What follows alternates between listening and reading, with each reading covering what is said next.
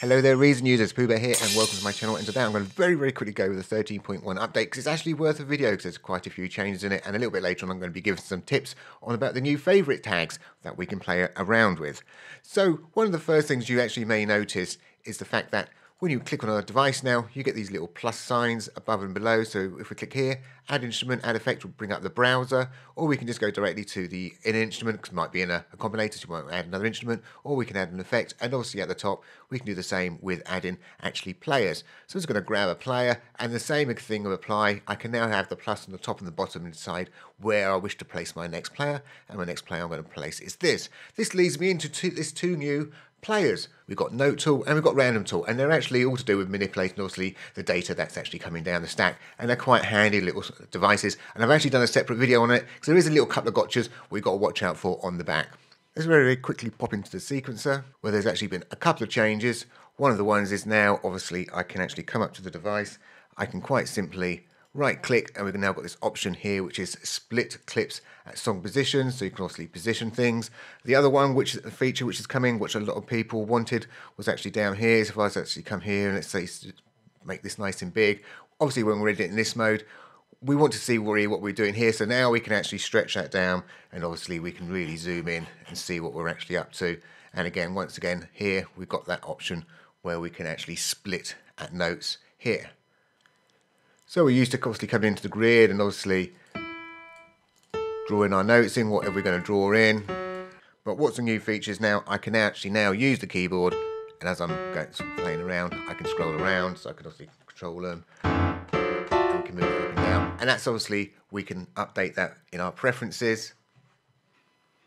We can turn it on and off using the trigger notes while editing. Shame there's no shortcut key for that, because that would be absolutely brilliant. If we select a note, we can obviously right click on that and now we've got this chop note too. And we can actually sort of set different values of what we want to actually chop it up into.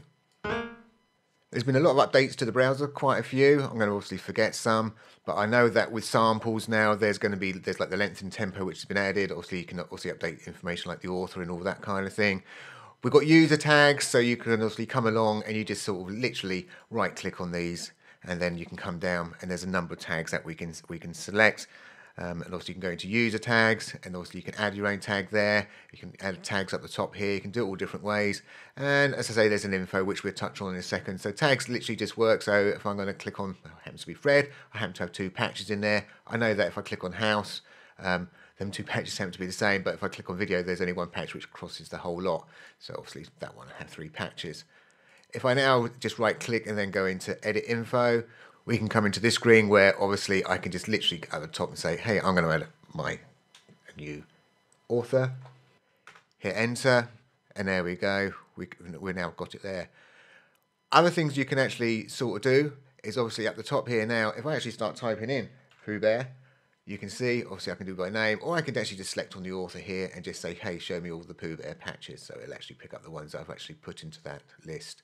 If I start typing stuff in, now we can obviously filter on different sort of containers. Obviously, we've got the name, we've got the kind, we've now got the rack extensions, and obviously we've got the refills. Obviously, with that search criteria in it, you can obviously go and pick that as well. And obviously, we've got folder names which will actually come up as well. So there's quite a lot going on here, and I think the actual overall performance is um, increased. Um, also supports, if I remember rightly, uh, sound fonts are back again. So let's actually move on to the favourites, which is obviously a favourite of mine as well, where obviously you can obviously add your own devices where you wish to add them, and you can just freely switch between them. I can also hold down my control, which I think is the command key on the Mac, and then obviously I can click more than one. And obviously, if they actually, like, I've got this device happens to be in both of these and my EQ, so this happens to be a free EQ, so I happen to be in both of them. So you can do that. And if I made a mistake, I can just click on either one of these or anywhere else I wanted to. Um, so I don't have to actually unclick other things and find that nice and quick to actually navigate around. And obviously if I un unclick it now, it's going to select everything because I actually turn everything off at the very, very top so I can actually see everything going. In here, I can also type in the name. So if I was to type in the name free, obviously it's going to look at free, it's going to look at what other word I might have it. So under drum, You might say, well, this drum name's not called free, but it's actually got free in the manufacturer name, so it's looking absolutely everywhere, so you've got to be semi-cautious. And so one of my little tips really is when you're actually devising maybe your favourite names is to try and come up with something really, really unique. So in my case, if I had to type in the word there, Z-free, because that's what I've actually called it, I know Z-free is very, very unique, so it's actually only selected all devices actually in that particular favourites list without me actually having to select the list itself. It might be I find personally jumping around the list is a little bit better. And you may notice actually when every time I actually blank this out, it's a little bit slow. So let's say I'm looking for the word beat. So I can type the word beat in and we've got it. Now obviously if I'm very quick at typing, I can type in the next word and it's actually quite quick actually finding it.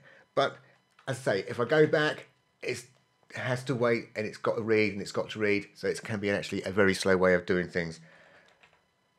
Another way I found to do this, if you're a bit of a slow typer, is quite simply type in your next word by leaving your last word up there and then just delete it out. And it's very, very then quick of actually finding them devices. You can select multiple devices at the same time. You can right click. Obviously, you can put them into a basic favorite. You can do a hide. Obviously, you've got categories you can add them to, or you can add your own tags. As I've said, that's so this is equivalent of your favorites really, and you can assign a new favorite. I know it says the word tag. I think of the word favorite there and just convert it that way. The hidden tag really is designed where you could actually hide any kind of rack extension. I use it when it doesn't actually find the duplicates correctly. Because the reason it doesn't find, say, some duplicates, so if I say let's turn off all rack extensions, and then I'd say hide duplications, and then I'm just going to scroll down until I find a duplication, and very, very quickly I've actually found one here. It's because there's obviously a space. And the other classic one would be the X underscore 64, because obviously old devices, there was a 32 bit, so they said, hey, when we made built the 64 version, we gave it an X64, and that's hence why the name X64 came out all over the place. And with VST3s, they've dropped it. So again, I can just right click this, go into tags. Sorry, I can just right click this and shove this straight into hide, and you have to go into tags. That is now in my hidden, and you can see it's now disappeared. So all hidden stuff just automatically goes, and you can obviously see it just by clicking on the hidden tag at the top.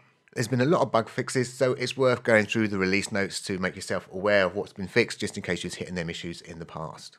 Don't forget to check out my videos about the new player devices and go and have some fun. Thank you for watching and bye for now.